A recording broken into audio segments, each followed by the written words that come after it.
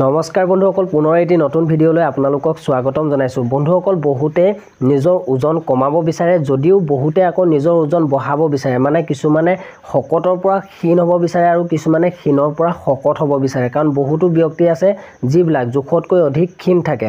আৰু আজিৰ ভিডিঅ'টো সেইসকলৰ কাৰণে। কাৰণ আজিৰ ভিডিঅ'ত মই আপোনালোকক ক'ম আপোনালোকে সম্পূৰ্ণ বিশ্বাসী সম্পূৰ্ণ hundred and one percent guarantee থকা কি উপায় আছে? যাৰ জৰিয়তে আপোনালোকে খুব কম সময়ৰ ভিতৰতে শকত হ'ব পাৰে। বন্ধুসকল আজিৰ ভিডিঅ'টোত আপোনালোকক গোটেইখিনি কথা ক'ম। সম্পূৰ্ণ গোটেইখিনি প্ৰমাণিত আৰু গোটেইখিনি আপোনালোকে ট্ৰাই কৰিব পাৰে। আপোনালোকে এই উপায়কেইটা যদি অৱলম্বন কৰিব পাৰে তেতিয়াহ'লে আপোনালোকে এসপ্তাহ বা খুব বেছি বেছি এমাহৰ ভিতৰত মানে আপোনালোকৰ চেহেৰা সলনি হৈ যাব। বন্ধুসকল তেন্তে ব'লকচোন দেৰি নকৰি আজিৰ ভিডিঅ'টো আৰম্ভ কৰি লওঁ। বন্ধুসকল ভিডিঅ'টো আৰম্ভ কৰাৰ আগতে আপোনালোকলৈ এটা সৰু ৰিকুৱেষ্ট যদিহে ভিডিঅ'টো ভাল লাগে এটা লাইক কৰিব। আৰু যদি চেনেলটো ছাবস্ক্ৰাইব কৰা নাই তেন্তে প্লিজ চেনেলটো ছাবস্ক্ৰাইব কৰি ল'ব আৰু কাষত থকা ঘণ্টা বুটামটোত ক্লিক কৰি দিব যাতে আমি যেতিয়া এনেধৰণৰ এটা স্বাস্থ্য সম্বন্ধীয় ভিডিঅ' আপলোড কৰিম সেই ভিডিঅ'টো আপুনি সকলোতকৈ আগত পাব পাৰে। বন্ধুসকল আজিৰ ভিডিঅ'ত মই আপোনালোকক কেইটামান উপায় দিম আৰু দুটামান বস্তু খাবলৈ দিম। গোটেইকেইটা কথা আপোনালোকে সম্পূৰ্ণ ভালকৈ জানি লোৱাটো আপোনাৰ বাবে অতি প্ৰয়োজন। যদিহে আপোনালোকে গোটেইকেইটা কথা মানিব পাৰে তেতিয়াহ'লে আপোনালোকক আৰু শকত হ'বলৈ কোনেও ৰাখিব নোৱাৰে। সম্পূৰ্ণ প্ৰমাণিত আপোনালোকে ভিডিঅ'টো সম্পূৰ্ণ শেষলৈকে চাওক। বন্ধুসকল আপোনালোকে যিমান পাৰে সিমান ৰাতিপুৱা সোনকালে উঠিব। কাৰণ আমি যেতিয়া সোনকালে উঠি সাজু হৈ লওঁ তেতিয়া আমাৰ শৰীৰটোৱে কিবা এটা শক্তি পায়। কাম কৰিবলৈ হওক বা মনৰ চিন্তা বহুত মানে শৰীৰটোত এটা নতুন শক্তি জন্ম হয়। আৰু বন্ধুসকল এতিয়া আপোনালোকক ক'ম যে উপায় কেইটা। বন্ধুসকল আপোনালোকে ৰাতিপুৱা সোনকালে উঠিব আৰু বাঁহী মুখতে আপোনালোকে তিনি গিলাচমান গৰম পানী খাব। অলপমান কুহুমীয়া গৰম পানী আপোনালোকে তিনি গিলাচমান বাঁহী মুখত খাব আৰু তাৰপিছত আপোনালোকে এক ঘণ্টামানৰ পিছত আপোনালোকে ত্ৰিফলা যিটো আপোনালোকে নাম নিশ্চয় শুনিছে যদিহে আপোনালোকে নাজানে তেতিয়াহ'লে আপোনালোকে আয়ুৰ্বেদিক য'ত মেডিচিন পোৱা যায় তাত আপোনালোকে ত্ৰিফলা বিচাৰিলে পাই যাব। আপোনালোকে ত্ৰিফলাৰ গুৰি এটা টেমা লৈ আহিব আৰু সেইটো আপোনালোকৰ কাৰণে বহুত উপকাৰী।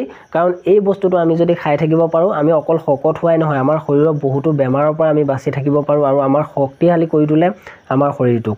বন্ধুসকল আপোনালোকে এচামুচ ত্ৰিফলা গুৰি ল'ব আৰু তাত আপোনালোকে দুচামুচ মৌজোল মিহলাই ল'ব আৰু তেনেকৈ আপোনালোকে খালী পেটত খাব।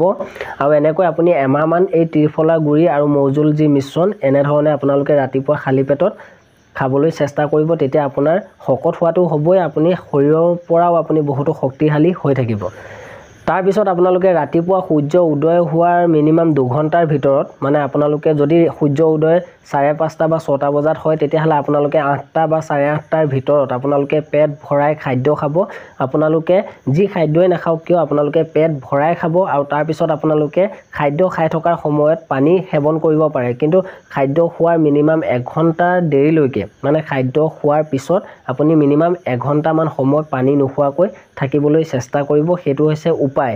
বন্ধুসকল ইয়াৰ জৰিয়তে আপোনাৰ শক্তি পাব আপোনাৰ শৰীৰটোত বহুতো শক্তি আহিব আৰু আপুনি ওজন বঢ়াব পাৰিব আপোনাৰ শৰীৰটোক ওজন বঢ়াব পাৰিব মানে আপুনি শকত হ'ব পাৰিব।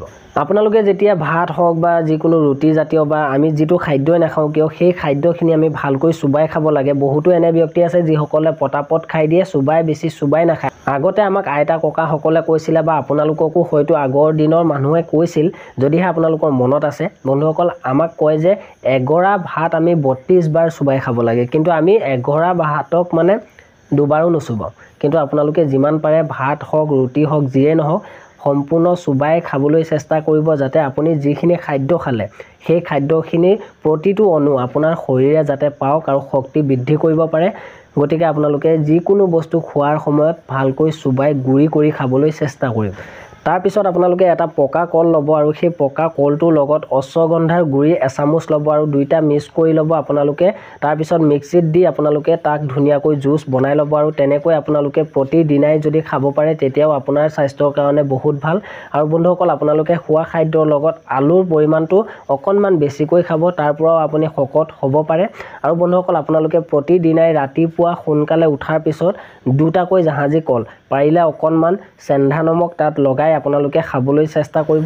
বন্ধুসকল তাৰ লগতে একেবাৰে অৱশেষত মানে ৰাতি ৰাতি আপোনালোকে যেতিয়া খাদ্য খায় সেইটো অকণমান সোনকালে খাব আৰু সোনকালে বিশ্ৰাম ল'বলৈ চেষ্টা কৰিব। আশা কৰোঁ আপোনালোকে এই টিপছকেইটা যদি আপোনালোকে অৱলম্বন কৰিব পাৰে তেতিয়াহ'লে আপোনালোকে মিনিমাম এক বা দুই মাহৰ ভিতৰত বা খুব বেছি বেছি আপোনালোকে তিনিমাহ লাগিব কিন্তু আপুনি শকত হ'ব পাৰিব আপোনাৰ স্বাস্থ্য সৌন্দৰ্য বৃদ্ধি পাব আপোনাৰ শৰীৰটো শক্তিশালী হৈ উঠিব। বন্ধুসকল আশা কৰোঁ আজিৰ ভিডিঅ'টো নিশ্চয় ভাল লাগিল। যদি ভাল লাগিল এটা লাইক আৰু যদি চেনেলটোলৈ নতুনকৈ আহিছে তেতিয়াহ'লে প্লিজ চেনেলটো ছাবস্ক্ৰাইব কৰি ল'ব। তেন্তে পুনৰ লগ হ'ম এটি নতুন ভিডিঅ'ৰ সৈতে। ধন্যবাদ।